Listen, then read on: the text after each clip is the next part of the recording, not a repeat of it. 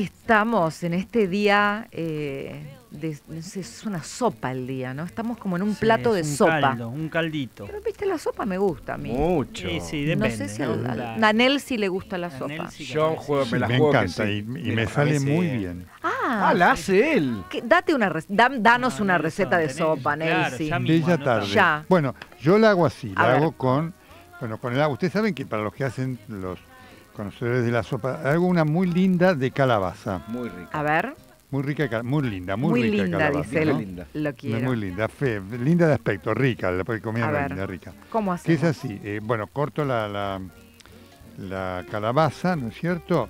Y después la, eh, la pongo en, en la procesadora para Ajá. que quede, le pongo un poquito de queso blanco, Pero para hervida, ya hervida. servida, claro. Eh, obviamente, primero la Sí. hiervo, ¿no es cierto? Después eh, la corto, en pedacitos le pongo un poco de queso blanco, un poco de queso rallado y un toquecito de albahaca. Muy Ajá. rico. Yo lo mismo Nelson, La pero proceso. perejil, Pará, perejil. pará, pará, Ah, que. Pará, pará, termine. pará, pará. Estamos No, no, eh, le, le pongo un poquito de cúrcuma, Sí. sí, y un, y un- y un toquecito de pimienta negra. Y cuando está, la pongo obviamente en la, eh, en la cacerola, con el agua ya eh, hervida, para que finalmente después termine todo el hervor de la sopa, ¿no es cierto? Y ahí le pongo un poquito de sal, le pongo poco sal, ¿sí? Eh, y ahí está. Así que después se, se espesa, Fresca. le pongo poca, poca agua para ver la el espesor y si hace falta un poquito más, después le voy agregando, ¿sabes?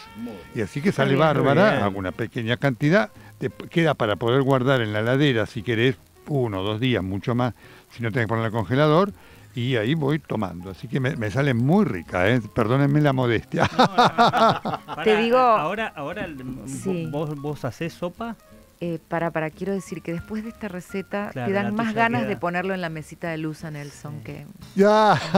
Nelson ya nos arruinó a todos, digo. Ya no podemos Ya dar recetas. Claro. Pero No. a ver, a mí me gustaría saber tu receta. yo solo le agregaría a la sopa que hace Nelsi una buena cantidad de jengibre.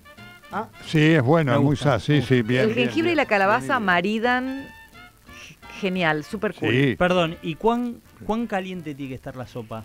Y a mí me gusta que se enfríe mientras la voy tomando. Me gusta que esté bien Sí, caliente. Bien caliente. Sí, sí, sí, bien sí. caliente. Y si La se le puede agregar un poquito de queso a- para que se nos derrita ahí eh, Sí. ante los ojos también. sí, la- el que tiene buena, es buena, buena pinta de cocinero es el señor Bertero, Sí. Nelson, perdón que En interrumpa. el Claro, campo qué nos enseña Pero a mí sí, de- de, de- chico, de chico, Qué bueno. de las Quiero carneadas. decirles esto, Cristina, la próxima que vaya a la radio, que va a ocurrir prontamente, ¿sí? Para- les voy a llevar pasta frola, ¿eh? Ah, Ah, bueno. bueno. No, digo, sopa, trae sopa, lindo, Nelson, no, no moría. No, no sopa no, que no voy a llevar Hacemos sopa una para olla popular. pasta. Lo llamamos a el- Belión y a Grabois. Que No, no. va- A, los, a, a a la aparecer la gente del Polo Obrero. ¿no? Cortamos Freire. sí, No, no que te la curran. Que puede ser de membrillo o si les gusta de No. dulce de leche. Bien. Y me sirve, ¿eh? Me Acá sirve. preguntan Cualquiera si de ¿La las batata probaron la dulce de Acá leche? hay militantes de, de Sí, la Camila- pasta frola con batata también. Sí, Sí, Camila. Sí, hay de batata, pero digamos, mitad y mitad, ¿la tipo probaron la la dulce de leche? ¿Sabes que Sí, no? la muy rica, dulce la dulce de leche? leche muy rica, muy rica. Nelson, Bueno, eh, la voy a llevar de dulce- de leche, la de porque dulce de ya la leche- otra, como novedad, sí, voy a llevar de dulce de leche. Se puede pisar, se puede, eh, mi mamá la pisa, el dulce de leche con el membrillo, lo mezcla muy pisadito, Uy, pisadito. Y queda, mixtura, le saca sí. el, el acidor y tampoco es tan dulce con el, es una mezcla muy buena. Sí, Qué sí. raro, nunca Sí. escuché algo Sí. así. Sí, sí, y se hace vos. también la mezcla de batata y membrillo. No, viste que la haces separada, viste que viene, viene mitad, mitad. Sí. No, Ah, no. las mezclas todas, la misma. Claro. Batata y membrillo, y le da un lindo sabor también, un rico sabor. Yo ayer hice chupín de pescado con merlucita. Uy, qué rico. ¿Cómo pero lo hiciste? Lo hice, lo hice, estoy adaptándolo porque tenía la, la receta original de mi padre, la adapté y Sí. está transformándose en un curry de pescado poco a Ah, poco. ¿Qué le pusiste? Mira, ¿Con qué eh, pescado lo hiciste? eh, con- eh, lo importante es el pescado que haya fresquito en donde Sí, compres, sí. porque acá no nos ponemos este, exigentes más que con este tema. Eh, compré merluza esta vez. ¿Mm? Y Uy, qué rica. pero este plato es muy fácil, muy rico el caldo que sale y muy nutritivo y no es muy calórico y es muy sano. Vos pones un poquito, dos cucharadas de aceite si puede ser de oliva, yo uso de oliva, y Sí, un dientecito sí. de ajo picado. Después empezás a trabajar con capas. La primera capa es de zanahorias cortadas en medio centímetro, las rodajitas, Ah. medio centímetro. Es importante el grosor porque determina el tiempo de cocción para que no Claro, altere el sí. tiempo de cocción. Sobre la, la capa de zanahorias pones una capa de tomate cortado en rodajas, puede ser un Ah, tomate y medio, depende del tamaño de tu cacerola. Al tomate lo salás Bien. una vez que lo pones. Después cortás cebolla en rodajas como para cubrir esa tapa de, Bien. capa de tomates. Después Sí. cortás pimiento, pimiento colorado, pimiento verde, el que gusta. tengas en, en rodajas, las rodajitas, ¿viste? Así, ah, sí. Claro, lo- las Bien. rodajitas. Sobre esas rodajitas pones rodajitas de papa cortada un centímetro. Un centímetro. Porque la papa es la que te va a determinar cuando el plato está listo. Entonces, eh, eh, chicos, hago un... Bien, ¿sigo? o Sí, sí, damos- Sí, sí, no, sí. sí, Ok. estamos. Es- es como Pongo la papa, la papa cortada en un centímetro. Sobre la papa vamos a poner pimienta blanca Sí. y yo aquí le agrego el curry. el corre. Ah, el mirá. curry que hay gente que lo hace, hay gente que lo compra hecho. Sí. ¿Y A mí me gusta qué? una buena cantidad. El que yo tengo lo hizo Luis y lo hizo muy Ah. bien, que mezcló las especias. mirá Luisito. Sí, es un genio. Y después le, le pongo un poquito de em, ají molido Mm. Eh, y pimentón. Ah, no te, lo- te gusta condimentado, condimentado. Re, Claro. recontra. Claro. Sobre eso vamos a poner finalmente el pescado. El pescado que previamente lo salamos y me gusta echarle un poquito de pimienta negra. Ponemos el pescado encima, tapamos la cacerola Sí. a fuego lento y en 40 minutos te fijas si la papa ya está hecha. Si la papa ya está hecha, está el plato. Es importante que antes de los 40 minutos le agregues un poquitito de agua tibia, depende de la cantidad de caldo que quieras. El caldo que sale es alucinante. El juguito Qué que después va a acompañar eh, la comida. No, es el caldo que Claro, queda para el plato. claro. No sabes lo plato, rico Sí. que es. Eh, eso mismo, Ay, si vos lo envolvés en papel aluminio todo y lo pones al horno, pregunto, ¿no? Porque a mí me gusta mucho el papel aluminio, pues después tirás todo, no se ensucia nada, no queda olor. Y no, pero no, no se compara esto. Y déjame dar el último No. momento. Fabiola Yáñez denunció a Alberto Fernández por violencia Tremendo, física ¿eh? y mental.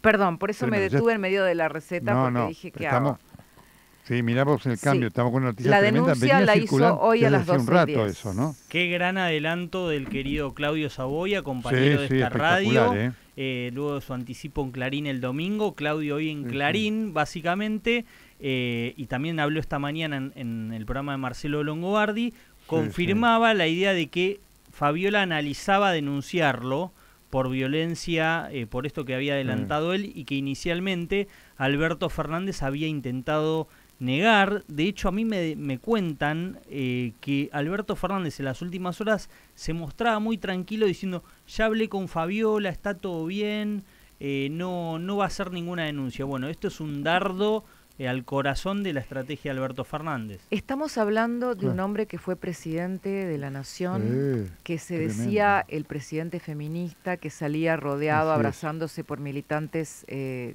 feministas, que Sí, se jactaba sí. de haber sido el que había llevado a, a- a- a lograr la legislación para la interrupción sí. voluntaria del, del embarazo. Y se caen El las de la máscaras porque Mujer lo y está, todo eso, ¿sí? exacto, lo está el Ministerio de la Mujer. Mira vos. Tremendo, ¿eh? Tremendo. y lo tremendo. está Estaba denunciando muy fuerte. Su propia eh, esposa. venía muy fuerte ya desde la mañana esto y muy importante el trabajo de Claudio, como dice que, eh, Ignacio, ¿no, Cristina? Eh, la verdad que es un trabajo importante y valiente. ¿Por qué digo valiente? Porque el terreno de la vida privada es un terreno Sí. difícil para los periodistas, Sí, sí. porque tenemos que justificar que estemos entrando en un terreno donde lo privado tiene incidencia pública. Mm, Y este lo era, pero si vos te metes a esos terrenos eh, de una manera X, podés hacer algo de mu- mucho mal gusto porque están en juego cosas muy delicadas. Y. Claudio fue valiente porque fíjate, te voy a decir algo a riesgo de, de que sea una primera impresión. Si no hubiera salido la publicación de Claudio, ¿hubiera tenido garantías Fabiola Yáñez No. para denunciar a Alberto Fernández? Claro. Claramente, claro, claro. claramente. Das en la tecla, eh, Cris, das en la tecla. Eh, a eso rompió lo mismo que pasó con Alfi y Pedro Brieger. eh, que, que le dio Mm. potencia a todas las víctimas, sin el apoyo de Claudio, sin, sin el Sí, apoyo fundamental del periodismo, contando lo que había, lo que habían encontrado, yo creo que Fabiola Yanis no se hubiera animado porque el temor Mm. que tenía, nosotros hoy lo contamos a la mañana, el temor que tenía reverencial Fabiola Yáñez ante la supremacía de que tiene como desde el poder un expresidente, hacía que eh, le, le impidiera avanzar. Pero te digo más, eh, Impresionante. iba a ser, iba a ser la, la- como ellos desmia- se han- ellos han hecho política de- eh, de- peleándose con la realidad. Exactamente. Entonces, iba a ser un juego de qué palabra vale más. Iba a ser, vale más tu palabra o la mía, y él iba a tener un montón sí. de voceros diciendo que ella mentía, que era oportunista, que quería plata, lo que fuera. Sí, claro, claro, claro. Y acá es con Sí. prueba puesta la cosa, con prueba Sí. puesta y con un juzgado, perdón, voy a decir algo más, con un juzgado que no fue, que no especuló, porque esto, quiero Sí, decirlo sí. también, esta información no sale del juzgado. Claro. Así El es. juzgado de Julián Ercolini preservó siempre la información. O sea, eh, Sí, sí. entonces, esto es importante decirlo porque ellos abrieron la instancia para que ella pudiera tener eh, oportunidad de denunciarlo con la salvaguarda de la Corte Suprema. Total. Pero si Claudio sí. no publicaba esta historia, probablemente ella nunca se defendía. Estaría bueno hablar con. Claudio. eh, Sí, sí, vamos a ver eh, si lo seguramente llamamos, debe ¿eh? tener información. bueno, sí. Hoy con Claudio a la mañana eh, Mm. lo, lo dejaba entrever en su relato, Claudio, Sí, y yo le claro. preguntaba incluso si esto no podía haber sido. atención, sí, atención. sí, sí. Tengo, tengo un último A momento. ver, Eh, se confirma la denuncia de violencia, pero hay algo más. a ver. se adoptan por parte del juzgado medidas de restricción y protección. Perimetral. Claro, Una claro. Restricción claro. y protección. Una perimetral para Claro. Alberto Fernández para que no se comunique Claro, claro. tampoco con Fabiola sí. Eh, muy importante Claro, este claro. dato que, que trae de último momento eh, Cristina. No, pero el planteo que yo le hacía a Claudio, abonando esto que vos contás, Cris, es, ¿no habrá sido o no será una estrategia ante el escándalo del tema seguros para Claro, correr, para correr y para correrlo a Ercolini? Es decir, vos eh, visibilizando la si, si Ercolini cometía algún error en el manejo de este, de este tema, era un motivo Mm. para que fuera apartado de la causa, de la causa de seguros, que es la que más le preocupa a Alberto Fernández, porque se lo investiga por corrupción. Ahí hay una investigación por corrupción en la que parece a priori que están todos los dedos marcados, los de su secretaria privada, los de su los del tipo que le prestó dinero en su momento y los del propio Alberto Fernández diciendo, "Yo me ocupo de un tema de una gestión para que beneficiaran por temas seguros a un Mm. conocido suyo." Mira, eh, es tan fuerte esto, porque Tremendo. es tan fuerte Sí, sí. porque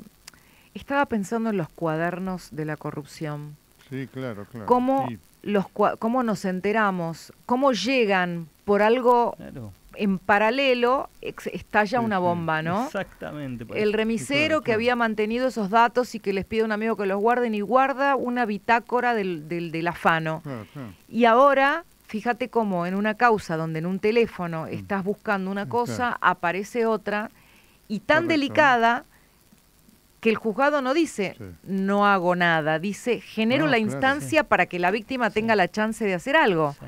Sí, Sí, Bueno, ahora que lo denunció. Fabiola, yo Sí. me, yo me Además, permito contar hay que algo. recordar, Sí. Perdón, eh, perdón. ¿no? Sí. Hay que recordar que Ercolini, esa paradoja de la vida, Ercolini fue discípulo de Alberto Fernández.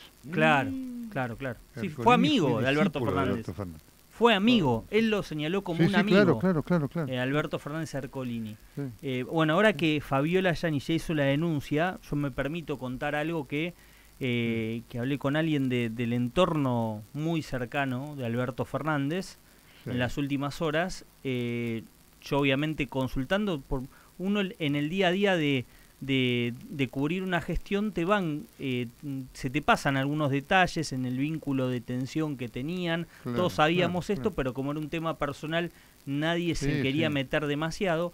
Hablando con una persona que en su momento me alertó por ese vínculo de tensión, yo le pregunté puntualmente, ¿vos la viste a, a Fabiola con, con marcas? Eh, y la respuesta fue sí. Uf. La respuesta fue sí. De esta fuente Claro, claro. altísima, altísima, diciendo yo no sé si fue en, esa, si- en, en una situación de violencia, pero yo la vi Claro. con moretones. Discúlpame, la sí. secretaria de Alberto Fernández, que es mujer María también, Cantero. Sí, claro. Tenía esas denuncias. Quizás Fabiola Sí, sí. acudió a ella en, pedido de auxilio.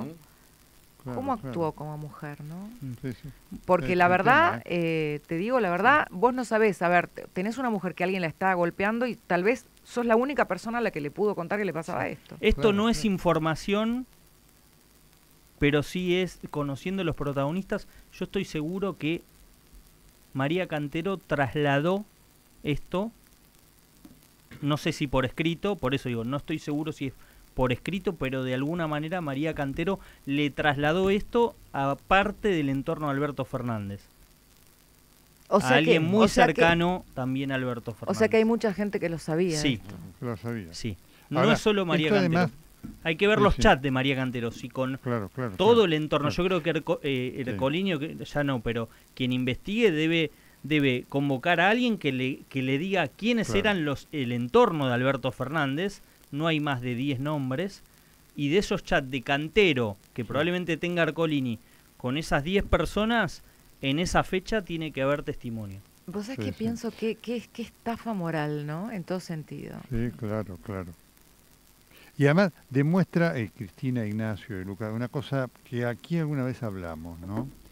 Muy sensible. La vida privada de los hombres públicos, sobre todo de poder, debe estar también bajo el escrutinio de la es, es tremendo, ¿no? Porque Tremendo. obviamente, fíjate vos, ¿no? Esto hace a la vida privada, pero también enmarca a un individuo cometiendo un delito aberrante, Sí. ¿eh? Eh, transformándose en un, en un individuo de repulsa moral, Ah, por ¿no? No solamente legal. ¿no? Es Pero es que, es que la, la fiesta de Olivos, en la que Claro, claro. Fabiola no es la víctima, sino que claro. también Mi participó. querida Fabiola, Claro, esa también mi participó de esa, de esa estafa, de ese fraude moral a los argentinos.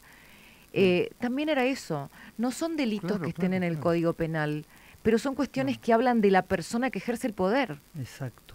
Así es. ¿Entendés? Hablan de eso. Sí, sí. Sí, sí. Efectivamente. Es muy importante tenerlo en cuenta porque la vida, ¿viste esas, eh, esas divisiones que se hacen, Cristina, entre la vida pública y la vida privada? Nosotros somos personas públicas, ¿no? Digamos, si nuestra vida privada fuera diferente de lo que fue, no, seríamos una estafa para la gente, ¿te Obvio. das cuenta? Si, si vos dijeras, mire, sí, eh, pregono la honestidad, pero después voy y hago un acto en mi vida privada. Lo quiero marcar porque esto, hoy que está muy en discusión, ¿no? en esta época de relativismo moral, de la importancia que, digamos, que haya en, la, en quienes estén en el poder, no solamente personas que tengan una ideología A, B, C, que sean eh, honestas en lo público, pero también en lo privado, porque es inescindible una cosa de otra. Es ¿no? inescindible. Ahora, eh, acá me, me aporta un, un oyente de esos incondicionales de, de Rivadavia que está muy siempre muy muy al, al tanto de todo. Eh, ¿Será eh, esa amenaza que le hizo Cristina de que podía mostrar el celular?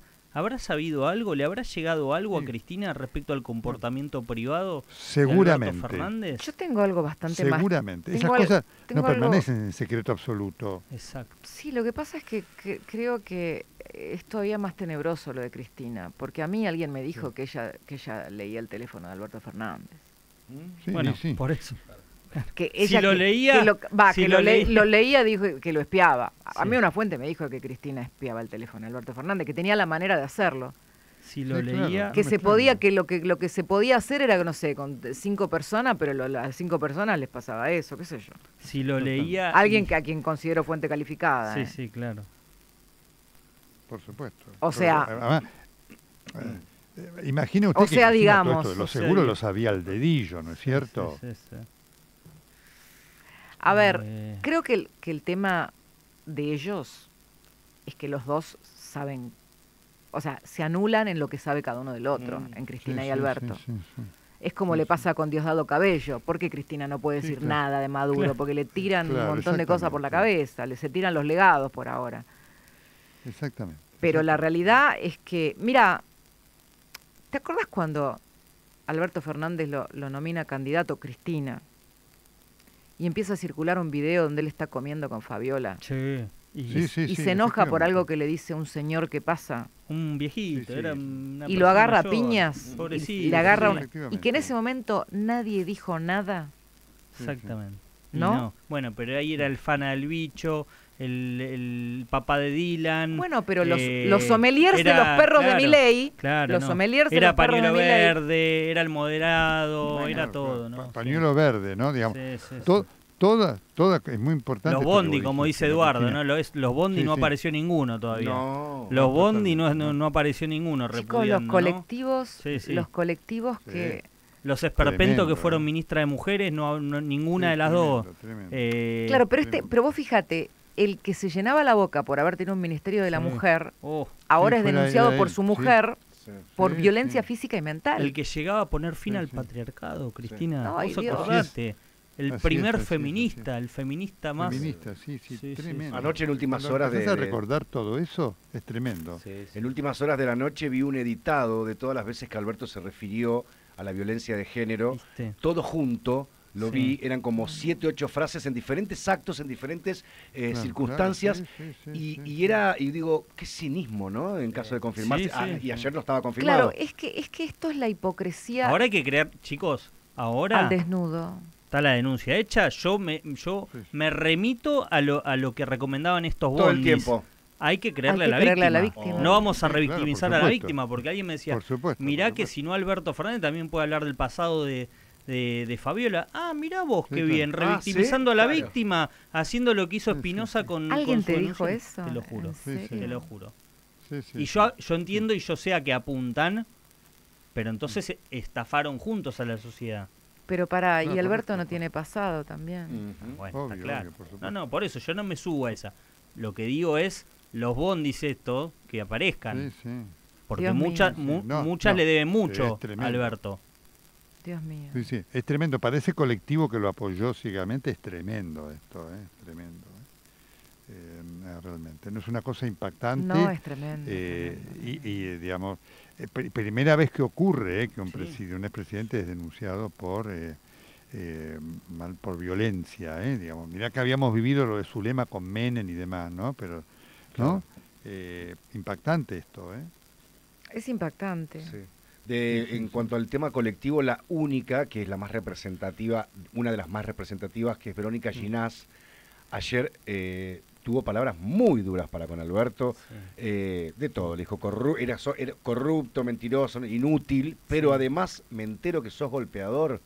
Mi querida Fabiola, en esa frase, dice ella, ahí empezó Sí, todo. sí. Y tiene razón en ese sentido, cuando vos decís echarle la culpa a algo a mi querida, mi querida Fabiola, Es ¿no? Eso fue ella, tremendo. ella dice que ahí es el origen, del- le termina de cerrar la historia con el diario del lunes. Y, del- Igual te digo, Lucas, yo entiendo Verónica Ginar, reconocida kirchnerista, todo lo que Sí. vos quieras. Ahora, cuando estos bondis querían salir a cazar a alguien que no opinaba como Sí. ellos en términos Sí, sí. políticos, donde le encontraban una actitud eh, machista, machirula, como quiera llamarlo, salían todas en manada juntas. Claro. A, a tanto a Pedro Brieger, que no hay que darle tiempo, pidió disculpas, Sí, como sí, Alberto sí, Fernández, sí, el sí. silencio es ensordecedor.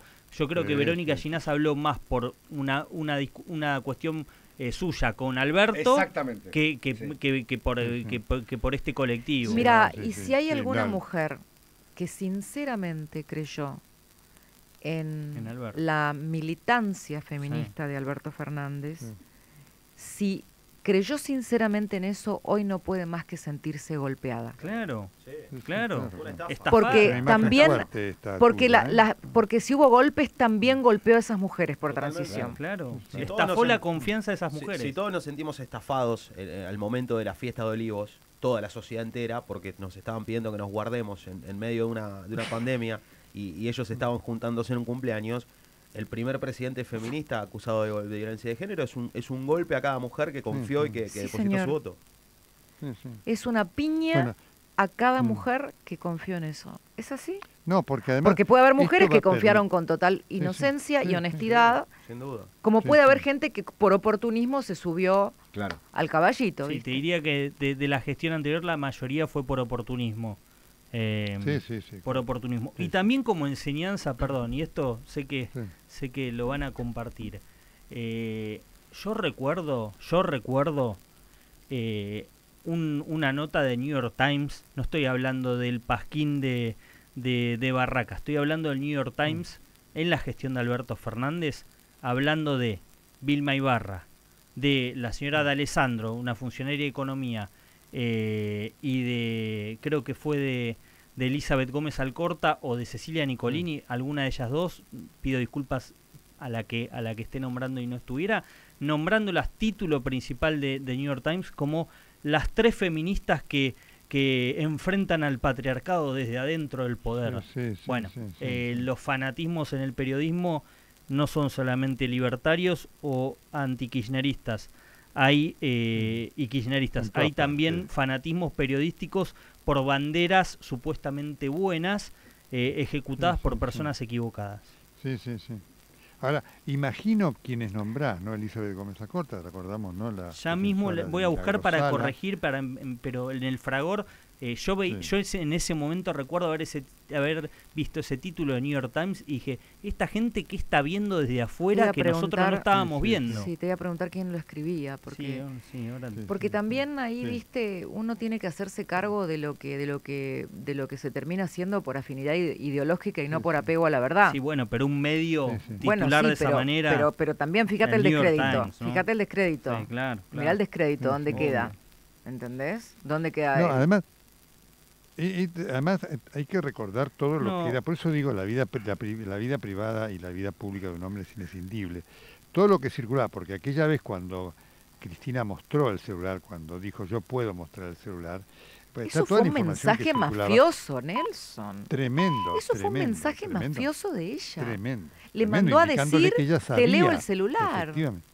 Efectivamente, ella sabía lo que había en ese celular, ¿no? Y todo lo que a veces con... eh, Era- perdón, Nelson, Sí, sí, perdón, acá, acá tengo la nota, perdón, la escribió Alicia Aridasani Gupta y Daniel Politi, la verdad no los conozco, pueden ser excelentes personas, excelentes periodistas, en esta nota la verdad que no. Estas tres feministas están cambiando Argentina desde adentro. claro, Foto de Vilma. Ibarra, Yo no recuerdo haber leído Mercedes de la nota, qué Alessandro y Elizabeth Gómez eso. Alcorta. Eh, Voy a Esto revisar era- Twitter a ver si alguien dijo algo. esto era, ya te digo, ¿qué fecha? 11 de mayo de 2021. Mirá Eh, vos, increíble. Están Increíble, cambiando la mirá. Argentina desde adentro, el Increíble, feminismo. increíble. Mirá, Bu- buen mirá. hallazgo de la memoria tuya, ¿eh? porque Sí. realmente es una, ya el mismo Es título de la nota escándalo. es un Es absurdo. una vergüenza, exactamente. Un absurdo. Qué raro que el New York Times haya- haya- ahí se ve que fallaron los editores regionales, ¿no? No, Eh, pero ¿sabes qué también, Nelson? El, el New York La Times agenda woke. es la agenda woke. Sí, Totalmente. La sí, sí, es agenda verdad, pero digamos, pero era, pero ¿sabés qué me llama la atención? Porque vos decís, bueno, están cambiando la agenda, es una, una tarea como toda la realidad era clara que Están no- cambiando no la cambiando Argentina nada, adentro del de la poder. pandemia. Impresionante. Bueno, en fin. Impresionante. Tremendo lo que estamos viendo. Y yo creo que además, eh, Cristina, Ignacio y Lucas, va, a ser impresionante porque acá se, se acaba de destapar una caja de Pandora. Mira, Vilma Ibarra los no dijo del nada. detalle, ¿no? Leandro Santoro no Sí. dijo nada. ¿Quién más me nombraste?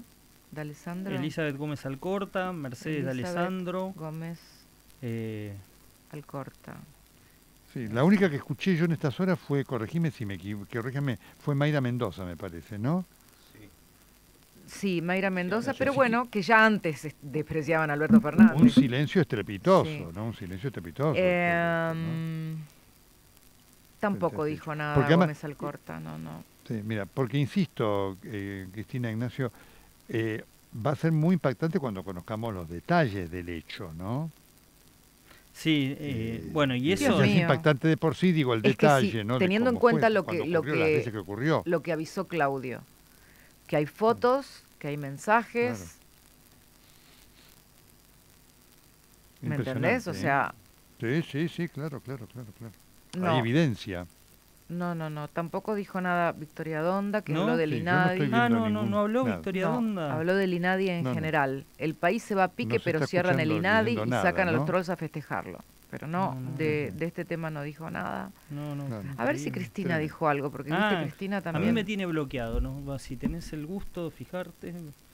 No, Mm, a sí. ver, no, Sí. tampoco, tampoco, no. Posteó una foto en un edificio. Gabriela Cerruti no, no tuiteó nada tampoco. Por. D'Artés me acuerdo que, que se, se- Había se- fila. Sí, sí, había fila.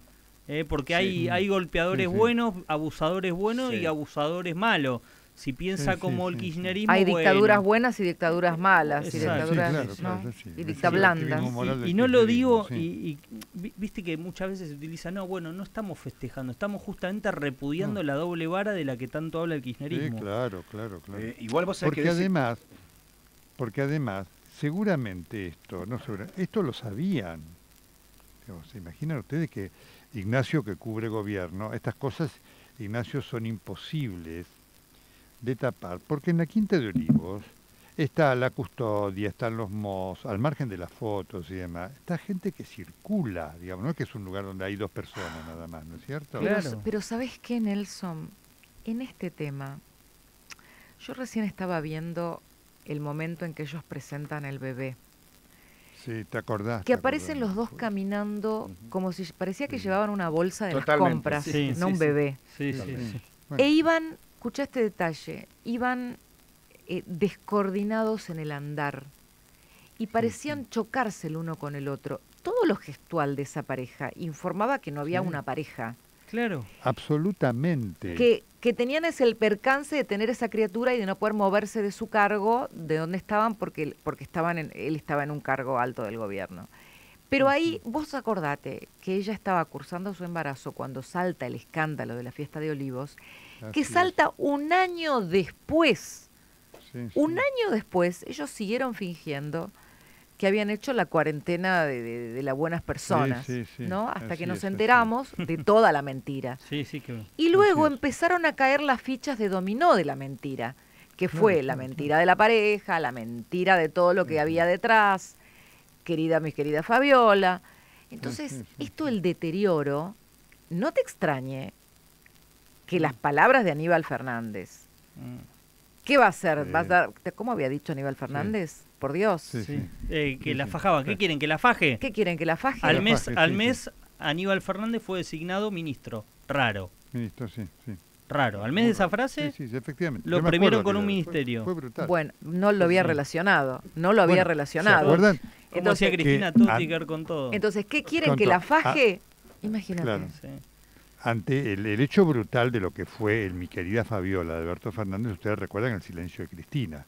Eso lo hubiera hecho cualquier otro, Macri, cualquier otro, Cristina hubiera estado a la cabeza, ¿no es cierto?, de Mm. las eh, que lo hubiera eh, crucificado, ¿no? Bueno, miren, veo, ve- veo al- hablando de bondis, el periodis- periodistas argentinas Ajá.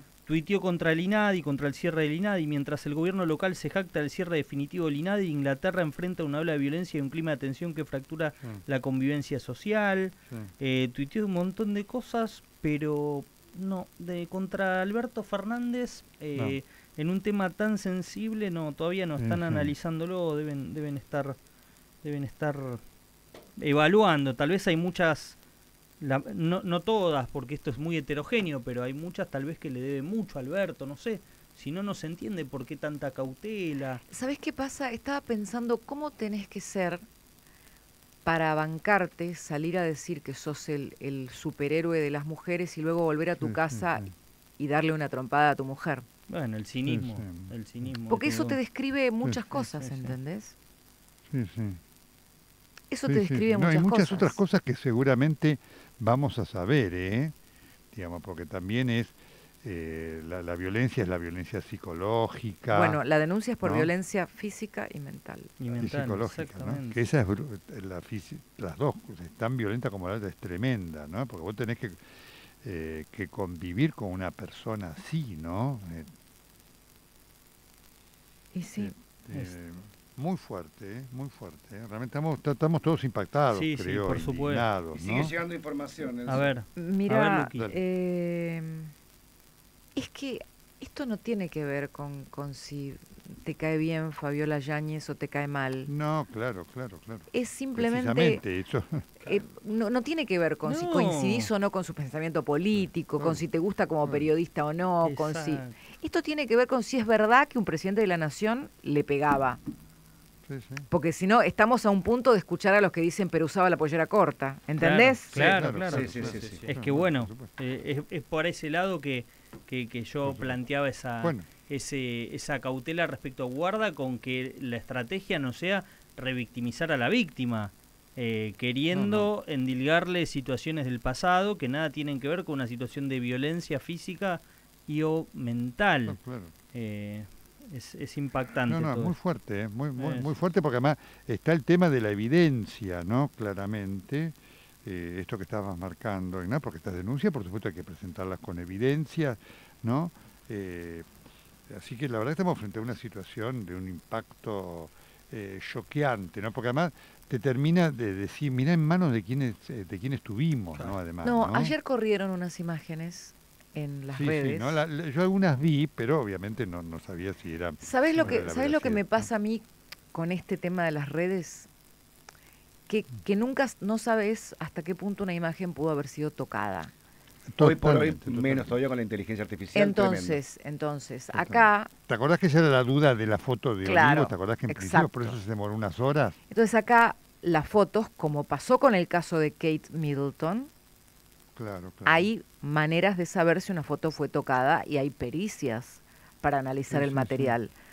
Sí, Acá, acá, porque yo quiero ser muy clara en esto, hay un juzgado, hay un juzgado que actuó con el caso, y quiero, eh, que actuó con el caso resguardando la situación, y cuando ya te dicen resguardando la situación es porque la tienen comprobada. Y sí, claro, por supuesto, por supuesto. O sea, entonces acá se comprobó algo y se abrió un- una causa reservada. Por eso yo ya ayer decía, de esto no hay duda. Pero aparte de eso, el periodista que lo informa dice, hay cuatro fotos, hay mensajes, ¿entendés? O sea, Sí, totalmente. Ya ayer, eh, al margen de leerlo a Claudio, por supuesto, de quien nunca dudamos, y la calidad, ¿no? Periodista espectacular. Que además, eh, yo me acuerdo, eh, ya es la, la- tal vez la- en la vida la segunda vez que le toca tenerlo a Alberto Fernández en foco, la otra vez fue con Romina Piccolotti, ¿no? Y todo lo que sufrió por eso. Eh, ya ayer te voy a confesar, cuando vi la, cuando leí la, la entre comillas defensa que hizo el abogado de Alberto Fernández, sí. Ya dije, acá hay un caso, si se comprueba, si Fabiola denuncia o no, no lo sabemos, pero estaba claro que había sustancia ahí para algo más grave. Y acá, Porque, ¿viste? El doctor dijo, bueno, no, hubo una discusión fuerte, Sí. una discusión para que sea motivo de denuncia, tiene que ser una discusión de pareja pero violenta. y no desmiente el mensaje, eh, ojo. De para, claro, Dice, efectivamente. no, fue un desahogo. Te digo algo que me está escribiendo alguien y es verdad. ¿Alguien de seguridad de presidencia, custodios, alguien le habrá cuidado de los golpes? ¿A quién le habrá pedido ayuda? ¿A la policía? Sí, sí, Qué heavy todo. Toda la seguridad en Olivos y que nadie te puede ayudar. sí, sí, Bueno, porque eh, hay mucha seguridad. en Olivos, hablando ¿eh? de hablando de a quién le pidió ayuda, Sandra Borghi, nuestra colega de TN, que está Sí. que, que dio el anticipo, muy, muy interesante, eh, el anticipo de la denuncia concreta, lo dio Sandra eh, en TN, eh, está contando, contó eh, hace, hace instantes, que eh, Fabiola Yáñez habría ido a ver a Elizabeth Gómez Alcorta, por entonces ministra de la Mujer, de, de los pañuelos verdes de Alberto Fernández, No. y que, al- y que Elizabeth Gómez. Alcorta no la atendió. Me da escalofrío. Entonces, Qué si esto se corrobora, esto- este adelanto que Uh. da Sandra Borghi, que tiene siempre muy buena información, Sí, sí, Sandra, sí, sí, eh, si se confirma esto, sí, sí. todavía más, Es complicidad con el golpeador. exactamente. Totalmente. Tremendo, yo no locura. lo puedo creer. Qué No, no, no. locura lo que Sí. estás Yo diciendo. no, no salgo de mi asombro de todo, de, de todo. No, del tremendo, silencio ¿eh? de los bondi, del silencio de las periodistas, del silencio de tantas que se llenaron la boca hablando de, de, de- de la violencia de género. No, no lo puedo creer, no, no lo puedo Sí, creer. sí. Es solo, Bueno. solo, si, solo se puede entender si hay, no digo connivencia, pero sí que hay demasiados favores que atender que eh, para con Alberto Ahora- Fernández. Si no, no entiendo, no, no se entiende. no Ahora, se esto es muy No la fuerte, están acompañando con- hasta la puerta del cementerio, Sí. Alberto Fernández, lo están Sí, sí. acompañando hasta la tumba. Es hasta con adentro. este detalle de, de Gómez Alcorta, porque si esto Sí. se confirma y si Gómez Alcorta sabía de esto, yo no sé si no está entrando en eh, falta de cumplimiento de los deberes de funcionario público, ¿no? Bueno, claro, Claro. claro, por supuesto, claro. No, Sí, sí, sí. lo que Sí, acabas de sí. decir es absolutamente así, Nelson, porque ese era su cargo, era ministro de la Mujer. Claro, claro, claro, claro, Qué fuerte. Eh, a ver, mira, ayer hablábamos con los chicos cuando se cuando terminó el pase, dos minutos, a veces intercambiamos alguna palabra. Yo les decía, ¿se acuerdan cuando cuando me crucé al aire con Alberto Fernández? Ujú. Que él, Sí, no, sí, que sí, él sí, no sí. tuvo que no tuvo un umbral de Exacto. contención para mostrarse No. como a- No. abusivo en su posición de poder, porque él pensó que yo Sí, me iba a asustar y entró por ahí, a ver, ¿por qué no usa? Por- Me empezó a cancherear Sí, sí, y una sí, persona que tiene no, conciencia de su restricción, más que lo está viendo un montón de gente, Sí. no hace eso. No. Tenés Le que ser, ganó el, el- tenés el que ser así, o sea, el tipo es así. Le ganó eso. Y la impunidad, ¿no? La impunidad Bueno. de saberse en ese momento que- Bueno, que, que pero si era el que haces iba- eso en un en, frente de todo el mundo en la televisión. Claro. Sí, sí, sí, sí. Estoy tratando de buscar ese tenso cruce que fue. fue no, pero no, fue- no, no, no, es pero, nada. no, no, no, pero no, no, no. grafica, grafica el Pero nivel de nada, patoterismo. ¿viste? Sí, claro que el nivel de patoterismo. El, el- el- el- el dato de ¿Sabes ese por qué? cruce, Porque- Cristina, fue el tono. El tono. Porque vos podés decirte, podés tener una discrepancia como, mire, Cristina, el tono. El Sí, tono. pero, tono. pero de ahí viste que de ahí a pegarle a una mujer hay mucha Sí. distancia. Tremendo. Mucha distancia. Lo que, sí. qué sé yo. Sí, por supuesto. Es, es tremendo, ¿eh? No tremendo. quiero, no, Estamos, no tiene nada que ver, pero digo, a mí lo que me sorprendió fue que fue tan natural, ¿entendés? Sí, sí, claro. Fue tan natural. Y Bueno. no es que es así con hombres y mujeres, porque vos puedes decir, bueno, tipo No, que no, no. Trump es con, bueno, Trump también es Mi- otro. mira, eh, la línea, eh, tuiteó Manuel Adorni, la línea 144 está abierta a las 24 horas para asistir a todas aquellas personas que sufren violencia por motivos de género. Fin, pone Manuel Adorni, dando a entender de que tanto que se habló de que este gobierno iba a quitar algunas cosas, no las quitó Claro. Y obviamente tiene una alusión al, al y me tema. quedo con, con una cosa que quizás eh, viene ya de mucho tiempo. Lo, lo hablamos ayer fuera de micrófono, Cris. Eh, los tweets de Alberto, antes de ser candidato a presidente, que en todo momento surgieron, que en todo momento se, se veía como algo gracioso en teoría y que Sí. hoy, atando cabos, une lo- una cosa con la otra. Eh, muchas respuestas a mujeres de manera muy violenta, muchas respuestas a, a- a haters también, pero, pero de una Mm. forma que me parece que no era la, la correcta, no era la adecuada Sí. para, para una persona que ocupaba un cargo en el Estado. Sí. Es que, ¿sabes qué pasa?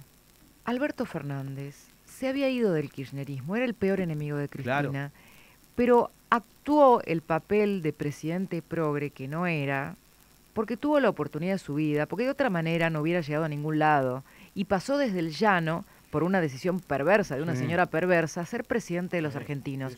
La primera estafa fue de Cristina y la segunda fue de Alberto. Y cuando te estafa la Mm. primera, las otras estafas vienen por continuación, porque el que miente con lo primero miente todo.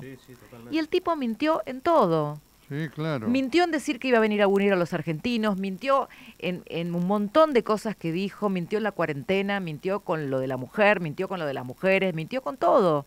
Mintió de principio a fin. Fue un presidente de Sí. mentira, ¿entendés? Sí, sí. Eso es lo que pasó. No era feminista, al parecer No, era honesto. No, no. Eh, es un hombre que engañó a todos, ¿eh? Que engañó a todos. Bueno, el ¿eh? presidente Ripley, qué sé yo. Sí, sí, sí, efectivamente. Lo que pasa es que tiene mucha gente que, que lo que también lo, lo es cómplice, ¿no? Sí. Bueno, sin duda, ahí, ahí, eh, ahí pusiste, eh, Cristina, otro de los temas. Por eso decía, cuando empiecen a conocerse los detalles, cuando primero de los hechos en sí, segundo, cuando Fabiola, si habla, cuente. Bueno, yo esto fui a verlo a fulano, fui a verlo a Mengano, de esto supo me- Perengano y demás. Ojo con esto, ¿no? Porque esto que marcaba Ignacio, que él ya tenía algún colaborador o alguien funcionario importante del entorno que lo sabía, marca un silencio cómplice en relación a esto, ¿no? Bueno, y, y todo tiene que ver con todo, digo. No hubo un pronunciamiento de estos pañuelos, de los bondis, No, no, de lo que pasó, no, no ahora con Alberto Fernández, de lo que pasó el 7 de octubre eh, en Israel, con miles de mujeres No. vejadas, abusadas, violadas, secuestradas, eh, encima, encima estos colectivos eh, con ideología antisemita, son antisemitas.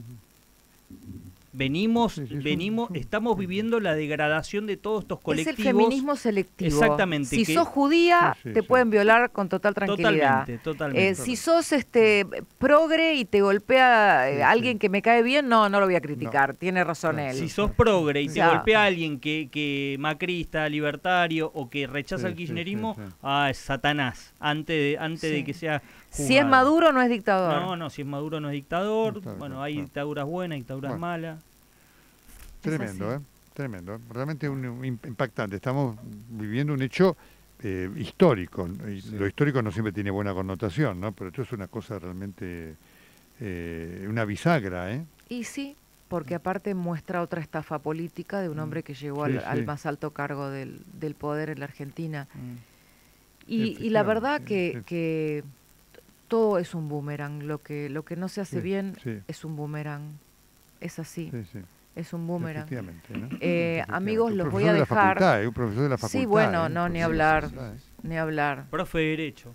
ni hablar, ni hablar. Nosotros estamos viendo canales de noticias, pero me están informando un colega, un periodista amigo, que en todos los canales han cambiado sus temas Por instantáneamente. supuesto, por Esto supuesto, cambió la agenda. Magazine, esto. programas eh, de, de que te- estaban con otros temas, están con este, con este. Sería agenda, bueno agregar siempre a lo que están con- se está contando violencia de género que Alberto Fernández está siendo investigado por corrupción, por Sí, tráfico sí, de influencias esto, en sí, el marco sí. de eh, la causa de los seguros. No hay que perder de vista eso también Y porque que antes por de irse del gobierno dijo que a él nadie le, le podía decir que, Sí, que sí. le, le habían hecho una Que denuncia había por tocado un peso. Sí. No toqué un peso. O sea, ni honesto ni feminista parece. Nada. Nada. No, de lo peor. Eh, realmente, ¿no? Hasta mañana, Eh. chicos, yo los dejo. Ni me di cuenta que estábamos en el pase. Casi que me No, quedo a No, hacer. no, no, bueno, hoy vamos fue, juntos, es la realidad, Sí, Cristina, quedate y dos esto- minutos más que ya vienen dos eh, tandas y nos me voy con Nacho, sí, sí, sí. Totalmente, y esto creo que es la riqueza que vivimos en Rivadavia, ¿no es cierto? Eh, sí, sí. eh, para, para beneficio de, de la gente que nos puede escuchar con esta, eh, esta eh, eh, eh, atención sobre un tema de impacto, insisto, eh, histórico. Eh, Tremendo. Así que un gusto, Cristina. Un placer, Nelson. Un abrazo. Beso grande. Hasta luego. Leandro es un piloto de avión comercial.